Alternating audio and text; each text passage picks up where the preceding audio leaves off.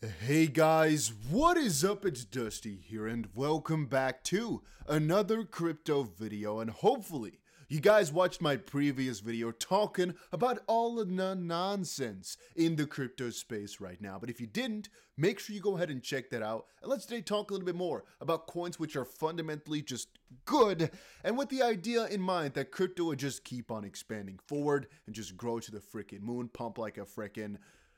I, I wanted to say some not gonna say it. All right, I don't have the perfect analogy for something that's gonna pump, except for uh, yeah.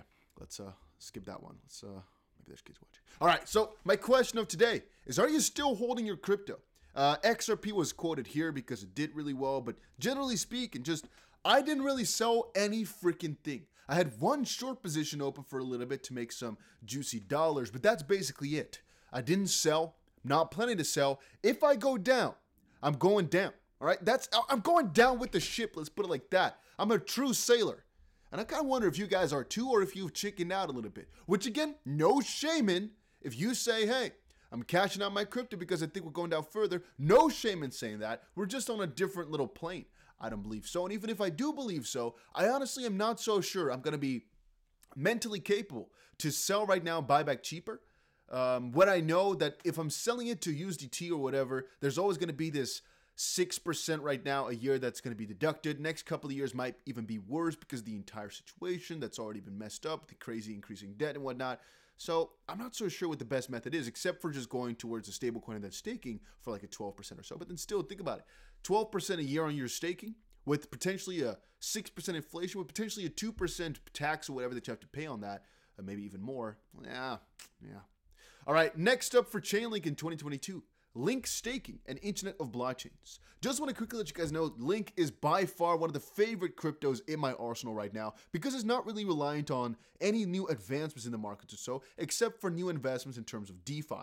If there's any new crazy announcement in DeFi, there's a very good chance that Chainlink has already adapted towards it or that Chainlink is an integral part of it.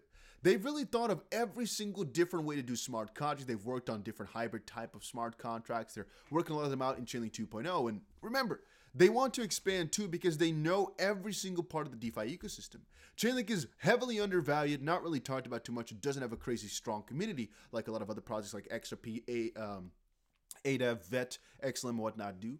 But honestly speaking, guys, this is honestly, from the core of my heart, one of the best crypto projects that I don't nearly have enough money into, but they're very good. And apparently here, uh, they're they're started out by providing cryptocurrency price data from a handful of sources to DeFi protocols like Aave and whatnot. But these days it consists of a lot more. These guys are so big. Link is not a small feat anymore, not one you can throw around anymore. These guys are huge, huge, huge. Um, I know a couple of people that work there, by the way. We right now have also seen the ex Google CEO has joined as an advisor. These guys are not playing around. Just quickly letting you guys know. But more things are coming up for them as well, which is exciting. So I'll update when we get any more uh, big updates. Now, Vitalik proposed a new multi-dimensional Ethereum fee structure. I want to quickly add two things together. One is saying I'm actually a pretty big holder of Ethereum. I've shown multiple different videos where I say Ethereum is kind of dumb. It's because it is. Right now, if you want to transact some and it costs you 50 bucks, 100 bucks or so, it's just stupid. But that doesn't mean the longer term for Ethereum is not exciting. Also, there were a couple of misconceptions between John Deaton and what he thought about X, uh, about about Ethereum. Basically, a lot of people think he's against Ethereum, or that since Ethereum got a free pass, that Ethereum is all of a sudden better. So no, it's not it. It's just that we all believe that cryptocurrency should receive the same chances or the same treatment, and Ethereum was just treated a little bit more preferentially than others were. It's just the way it's going right now. So one of the things that does pop up in my mind is how can I explain to y'all that I am bullish? Well, let me tell you like this. If they fix the fees, which can happen with Ethereum's 2.0 upgrade, which can happen in a couple of months, they're definitely a lot better. And they're so heavily used that they can really get some crazy pump going still, whatever, at one point of this year. For Chainlink, I honestly believe tripling, quadrupling or so in terms of price would, would kind of be on my little target because as I said before, it's going to stay undervalued because it's just not a project that goes into the spotlight too much until they change stuff around, which we don't yet know. With Ethereum, though, it's so on the front lines already. If we see a $20,000 Ethereum price, nobody would really be like, wow, that's crazy. People would be like, oh, yeah, logical. Yeah, seems fair. Same thing for how it just reached, reached a couple of thousand bucks right now. If you told me this a couple years ago, I'd slap you in the face for trying to trying to make my head of all this nonsense. Right now, it's like, oh, yeah, oh, four thousand dollars per Ethereum. Okay, that's a good, it's okay price. Three thousand dollars per Ethereum. That's a steal. Where in a couple of years ago, if you told me it would be over a hundred bucks, I'd be like, ooh, that's uh, Ooh, you sure about that? Ooh. No, okay, let's not say 100 bucks. We all knew that. But let's say 500 bucks so. I would be like very surprised if it if it did that within five years. it's kind of funny how things have changed, huh? Then I've been looking around, man. All my days. If you look on Crypto Panic, one of the websites I sometimes use, their uh, uh, let's put it sometimes use. The comments here are very often funny. You know, Terra slash Luna, Avalanche, AVAX, and four additional Ethereum rivals mounting serious challenge to ETH in 2022. JP Morgan analysis. Let me say it like this: every single DeFi crypto, from some perspective, is in direct competition with Ethereum, even though they all have a unique little factor. They're all competitors to each other because you're going to use one or the other, or sometimes both, but generally speaking, one or the other. And any money that you lock up on one protocol, you can't use on another. So it's a it's a one to one thing. One of the safest options, I guess, is something like a Uniswap, which uh, can, for example, be on multiple chains, which can actually be really nice. And there's a couple of DeFi, I guess, um, providers that work for multiple chains, and I guess those are also kind of unaffected because they use uh, all of them. But the layer ones, yeah, they're all in competition with each other directly. It's funny how, how a lot of these guys are commenting like there should be ways to liquidate bears. yeah, I don't know. A lot of the Pulse chain stuff, a lot of the Hex stuff, I also often see. I'm not too sure about why people are so excited about that. If you guys know anything about Pulse chain or Hex, let me know in the comments section down below. Uh, but analysts at global banking giant JP Morgan say that Ethereum competitors would challenge the top altcoins decentralized finance dominance of the crypto markets this year. In a recent report, analysts led by JP Morgan managing director Nicolaus why Pen Panigirtzoglou say that ETH's 70% market share of the DeFi space will continue to drop because the blockchains. Hmm? Well, generally speaking, they're talking about Ethereum's dominance dropping because there's others that are taking over.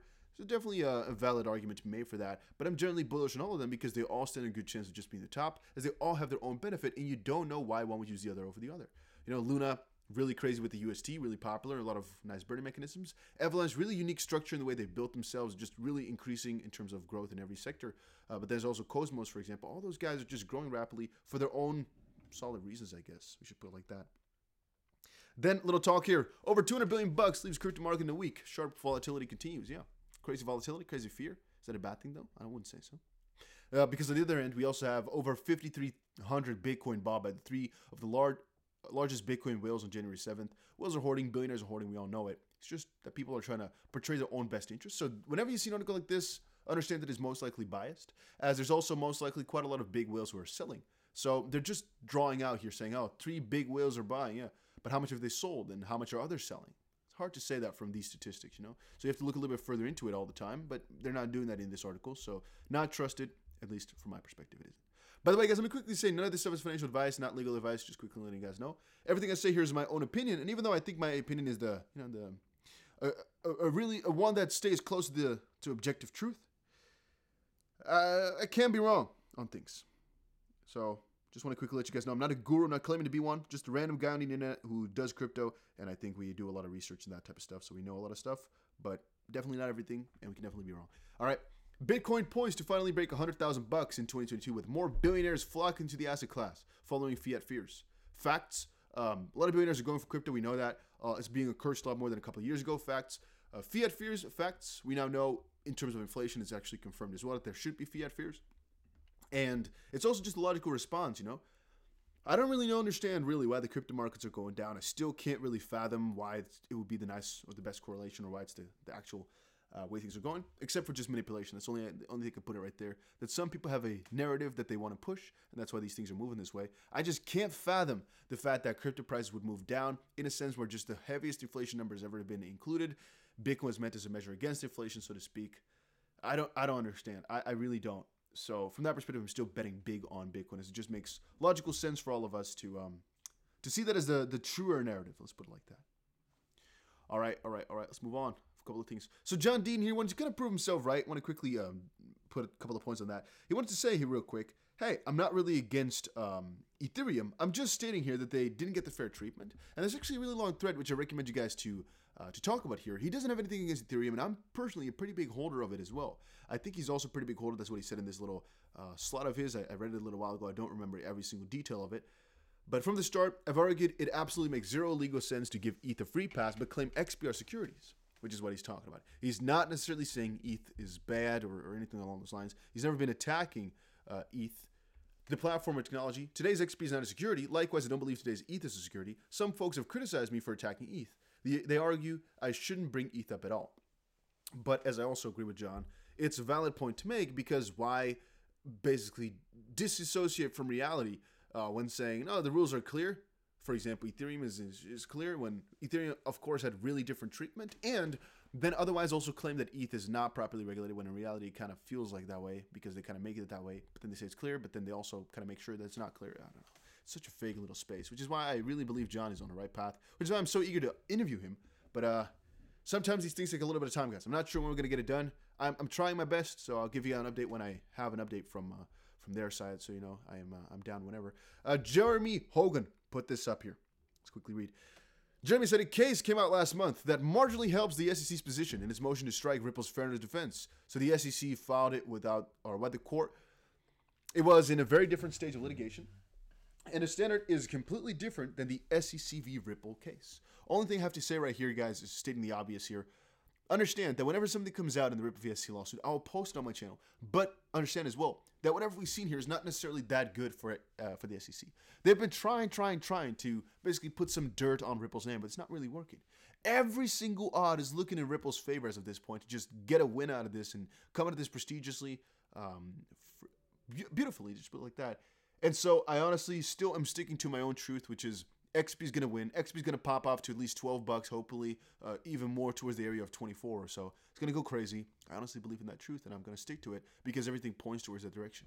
Then again, it doesn't always have to go that way because in the crypto market right now, every single thing is pointing towards high inflation, higher soaring crypto markets. Not happening though, so sometimes it takes time. Bank XRP shared this. Never mind the Ripple lawsuit. DigiVault becomes the first accredited custodian to support XRP. Nice. Just small little announcement. Rather nice.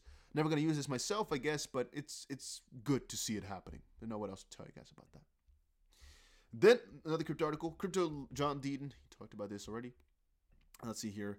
Uh, 440 million XRP wired by major players with 225 shifted in a single lump. I'm going to do some research on this one uh, because at the end of the day, I've told you all any transfer here is not of any importance unless you know exactly what goes on behind it. And as of this point, we can't really extrapolate what this is supposed to mean for the for any other metric because we don't know how much the inflow was or what exactly these shifts came from or went to. They're talking about some exchanges, right? But that is still so vague. Still, is it a person? Is it the exchange itself? Are they doing this because of um, you know just moving their money around? Are they doing it for a new venture? Are they doing it for this, that, this, that? Are they an ODL partner? Was it Ripple doing that? All these things matter.